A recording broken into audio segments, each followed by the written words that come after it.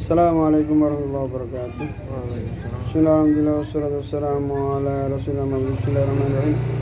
نويت التعلم والتعليم والنفع والاندفاع والمذاكرة والتذكير والإفادة والإستفادة والحث على التمسك بكتاب الله وسنة رسول الله صلى الله عليه وسلم والدعاء إلى الهدى والدلال على الخير بوجه الله ومرضاته وقربه وثوابه بسم الله الرحمن الرحيم قال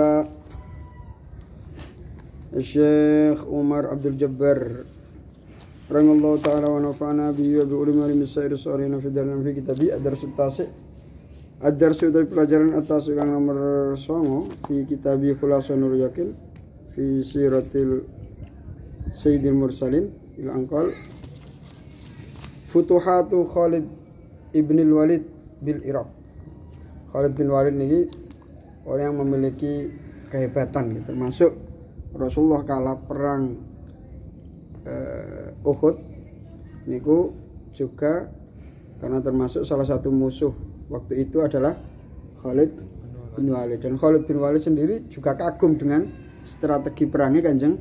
Nah karena di perang Uhud di Jabal Rumat Rasulullah memposisikan para pemanah di atas. Dengan posisi seperti ini sulit untuk dikalahkan. Andai kata umat Islam waktu itu benar-benar mengikuti sabda Rasulullah SAW mengikuti instruksi Rasulullah SAW mereka tidak akan turun niscaya kemenangan di tangan umat Islam, Islam. Akan tetapi lagi-lagi umat Islam kalah apabila mereka sedikit saja ada kesukaan terhadap duniawi. Jadi kita umat Islam gak oleh seneng duit ini gak oleh. Padahal urip kudu nganggo duit. Tapi pertolongan Allah itu tidak sulit, sulit untuk diberikan kepada orang-orang yang hubud dunia. Nah, kita fokus ikhlas lillahi ta'ala dalam perjuangan insya Allah Allah akan mengirimkan orang-orang yang juga tulus juga untuk berjuang bersama kita sehingga menimbulkan kekuatan yang luar biasa. Nah, terus Khalid bin Walid membaca waktu itu berusaha eh, apa, merayu pasukan-pasukan pemanah dengan harta jarahan, dijatuhkan, dijatuhkan turun sehingga pasukan pemanah turun. Geser dari posisinya untuk menjaga pasukan yang di bawah. Setelah itu dibabat oleh Khalid bin Rasulullah. Walaupun Khalid bin Walid menang pada waktu perang itu, tapi dia juga kagum dengan sistem strateginya Rasulullah SAW. Dan lagi-lagi sistem ini dipakai oleh seluruh dunia dipakai. Dipakai. Amerika nyerang Irak juga seperti itu. Pasukan di bawah masuk dilindungi oleh pesawat tempur. Terus eh, serangan Belanda kedua, Inggris nih ya. Setelah kemerdekaan 45 kan nyerang Malih. Itu juga gitu pasukan di bawah ada terus dilindungi kalau pesawat rudal-rudal berjatuhan tentang daerah ini dulu terus ayah dulu niku sebenarnya sistem itu adalah milik Rasulullah Shallallahu Alaihi Wasallam Nah untuk Indonesia nih kalau kita mau memakai sistemnya Rasulullah SAW itu memakai nopo Madinah itu bisa dipersatukan dengan adanya kondak. Kondak niku parit pembatas sehingga lawan tidak bisa masuk ke negara kita. Sehingga mau masuk terhalang oleh kondak. Nah, Indonesia ini negara yang berpulau-pulau. Pulau ini kata.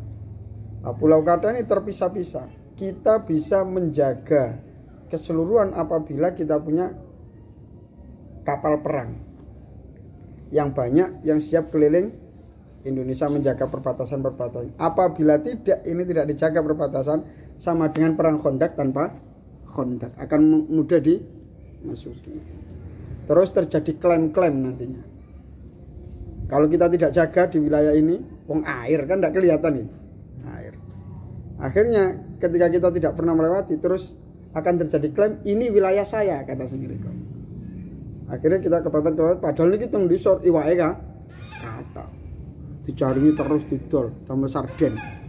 Andai kata itu masuk ke negara kita kan melebihi dari barang tambang. Barang tambang sekali diambil habis kalau ikan bertelur beranak selalu mengalir Futuhatu Khalid. Utawi iki iku piro-piro bedahi Khalid ibnil Walid kan tadi putranya Al Walid bil Iraqi ing dalam Irak Khalid bin Walid ini dipecat di zaman sini. Umar bin Khattab.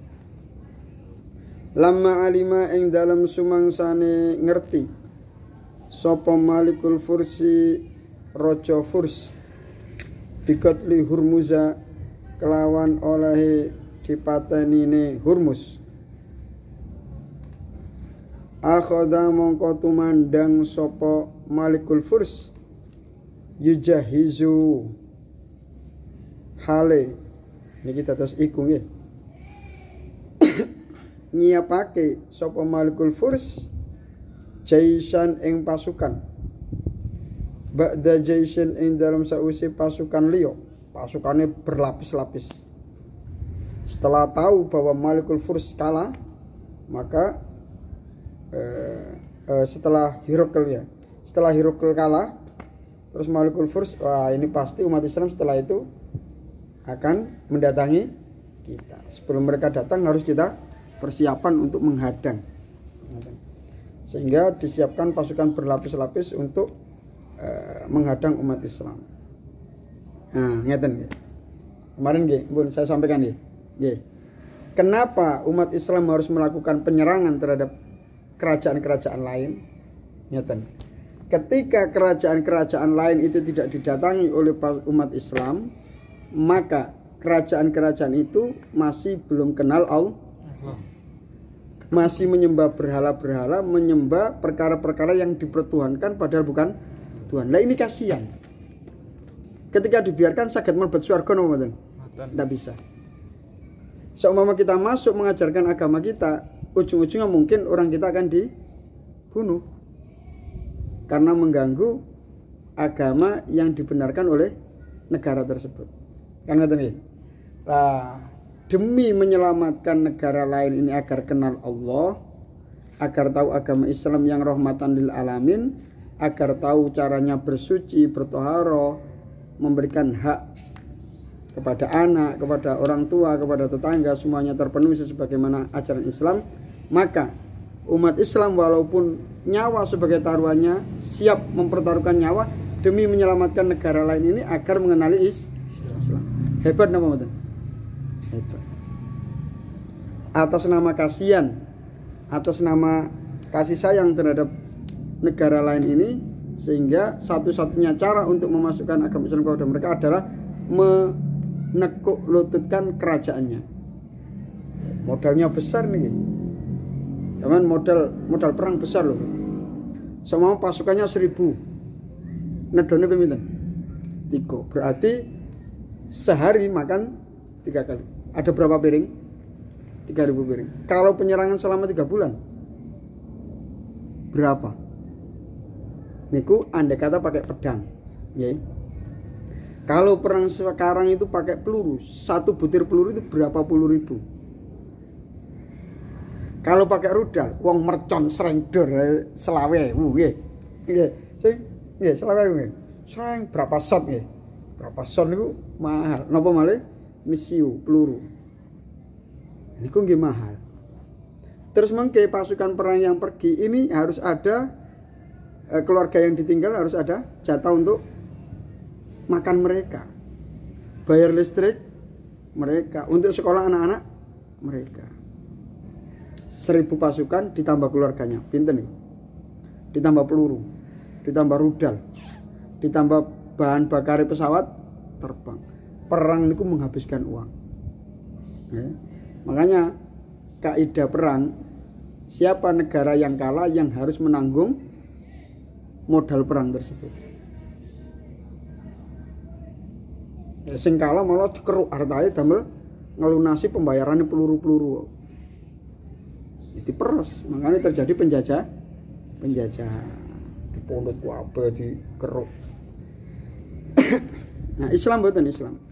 Islam niku ketika mereka sudah tunduk terhadap negara Islam gempon hanya sekedar ada pajak. Tidak diambil semua anda pajak perlindungan mungkin ditambah membayari polisi. Masuk negara mboten dijoko. Polisi terus menjaga perbatasan.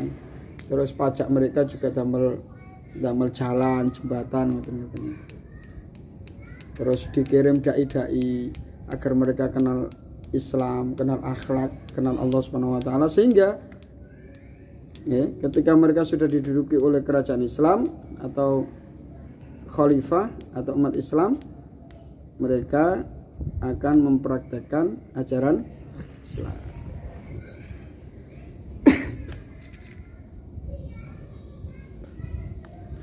Ba'da jaisin li kitalil muslimina krono merangi wong-wong Islam. Jadi nek cara tiang-tiang orientalis orang-orang barat itu tuduhannya negatif. Islam itu berat besar dengan adanya penjah, penjajahan. Islam itu tersebar karena penjajahan. Coba sekarang Amerika, muslimnya banyak apa betul? Apa umat Islam pernah menjajah Amerika? Inggris muslimnya tambah banyak apa? Tambah banyak. Apakah Islam pernah jajah? Inggris tidak pernah. Indonesia Islamnya paling besar seluruh dunia. Apakah Turki Utsmani pernah jajah Indonesia? Tidak pernah.